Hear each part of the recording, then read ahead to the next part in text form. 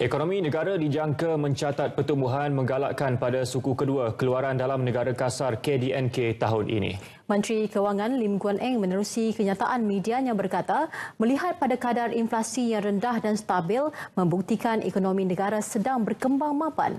Selain itu, kadar indeks pertumbuhan perindustrian Malaysia berkembang lebih daripada konsensus pasaran untuk bulan ketiga. Mei lalu, indeks itu berkembang 4% dari tahun ke tahun mengatasi unjuran pasaran 3.5% tahun ke tahun seperti dilaporkan Bloomberg.